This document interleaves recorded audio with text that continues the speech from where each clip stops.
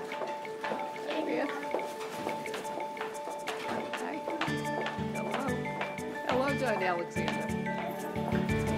Good morning. Richard Murphy School is a kindergarten through grade 8 school. It's part of the Boston Public Schools. We have 900 students who go to school here.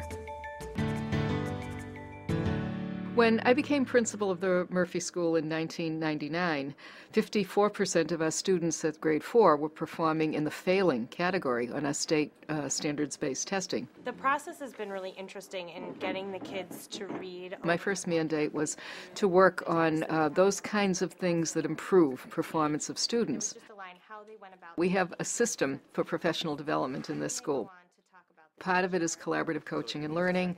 Part of it is a system by which we meet as teams and work together collaboratively on our work. understanding what they're doing. We have teachers who will work as coaches within the school, share their knowledge with other teachers. At this point, we have found two missing angles.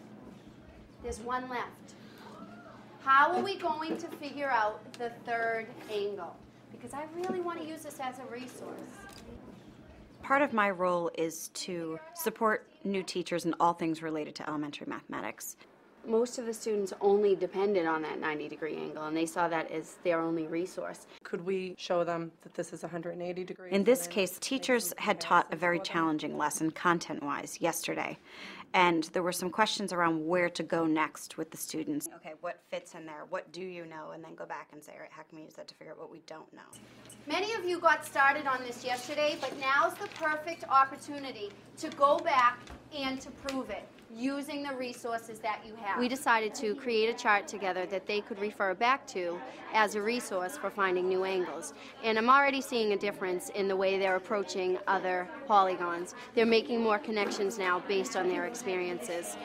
and this is six. I think once teachers experience the collaboration, the fact that I am not alone in doing this very hard work of getting kids to standards, they uh, really love this kind of an approach. They like working together, they like the teamwork. Double that. I think I've learned more from visiting other teachers' classrooms than I ever did from a book. It's an opportunity to come outside of your little classroom and be with people who are going through the same struggles and who may have something that, that they can offer you, or you might have something that you can offer them. The kinds of instruction that we use now focus on seeing where each child starts. We test every child as soon as they come to us. And then we set a goal for that student. By mid year, we expect this child to be able to be reading at such and such a level. And we live by that. Can you read that word for me? Timber. Timber. Very good. Okay, so let's take a look at page 11. You see, a tiger is a large cat. It looks like a Tasmanian tiger as well. Look, just Tasmanian. I work tiger. as a literacy coordinator. that is. It's- I provide professional development for teachers, as well as provide one on one coaching. Let's, let's see if we can figure out what that word means. As we learn to think about our children as learners, we also have to think about teachers as learners. And just as kids are all on a different point in their development or in their learning curves, teachers are in that same position. He tends to sort of get ahead of himself sometimes, and so I wasn't sure whether he really did know the word or he was just Or he wasn't or using the he visual hurry. information. Exactly. So um, that was puzzling to me. you know, if he comes to a word where he doesn't know what it is, he just stops. So even saying something like, Why did you stop? Right. Using self monitoring and checking, you know, like saying things like, What's wrong? Let's look at grade five. See. We use data in many ways at the Murphy School. We identify those individual students who are not performing as well as they should for um, additional support. Three number problems. That's We say, um, what is it that we need to learn? if you look here, more than 35% of our students did not get this question correct. So I'd like to do an item analysis of that and spend some time really digging deep in that question. I see that our students were really struggling on this. Well, why were they struggling? Did we teach it? When in the year did we teach it? First digit. We can also identify teacher strengths. We had one writing teacher who was consistently scoring very well. So it was as simple as someone asking her at one of these meetings, What are you doing? How are you teaching this? Because whatever you're doing, you're onto something and we want to know what it is. Figure out what is the table, what information is the table going to give you, okay? What is the question asking me to do? So many kids like will write an awesome open response, but if it doesn't directly answer the initial question, you know, setting them up for disaster. They're very good at looking at it very quickly and saying, this is the answer, this is what I have to do.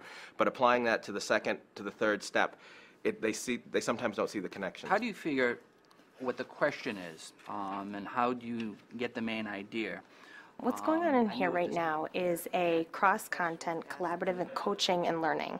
Um, so there are a group of sixth grade teachers um, from history, science, mathematics, English language arts, and they're coming together to puzzle through a text we have decided will give us some strategies to improve reading instruction in all content areas. I think that one thing that would really benefit us is to really keep track of the types of questions that we're asking kids. You know, they think if they don't know the answer right off the bat, that they don't know how to do it. So teaching them that it is okay to puzzle through a text or a math problem or a science experiment, that, you know, grappling with ideas is what they're there to do.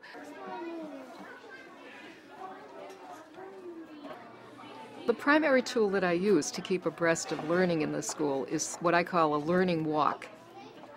The kind of evidence I look for is what are the walls telling me, what work of the students is displayed on the walls. Used other equations. Did you try another strategy? After you, after you As I ask children to explain their thinking, what is that telling me about their learning? Goes from zero In that way, I know what kinds of conversations to have with uh, teachers. I can also bring my uh, feedback to the team of teachers and to the school as a whole. How are you going to approach the question? The first thing you've got to do as you try and respond to this, what are you going to do? Rizzo? Restate the question. Restate the questions. That means you're going to take a very, very close look at what the question is actually asking. You have to The results are very, very worthwhile. They're very powerful. We're looking at uh, uh, students performing in the advanced and proficient levels. We had very few in 1999. Now most of our children are performing in that level. Very, very few are performing in the failing category, whereas most of them were performing in the failing category. And this goes for both math and literacy. So for us, that's an indication that the approach we're using is working. We're seeing more and more of our students achieve. One of the things that makes teaching here rewarding is that there are a lot of high expectations for faculty and as well as for children. I think that the students see us as learners. We're coming in here to learn from you, and we're coming in to learn from your teacher or the coach. I think that's helped the students by giving them a model. When the students aren't understanding what they're reading, you know, it's not just me solving this problem. I've got 10 people in there that are helping me solve the problem. Talking about the work with the teachers makes me better prepared for my classroom teaching. We need to be able to look at what we are doing day to day in the classroom. Yes, the work is hard, but it can be done. And I say, I think that's the basic message of the Murphy School. If people get together, if people set high goals, if people are willing to do all those extra things, that you can have high achievement for urban students.